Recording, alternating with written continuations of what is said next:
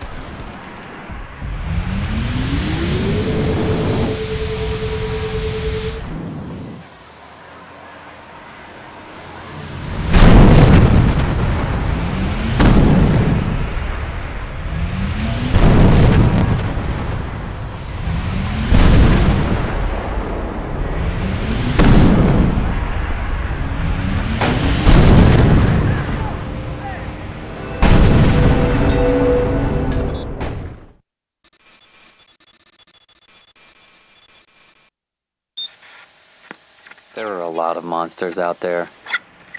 Some are harder to see than the Hulk, but I doubt he's the worst of them.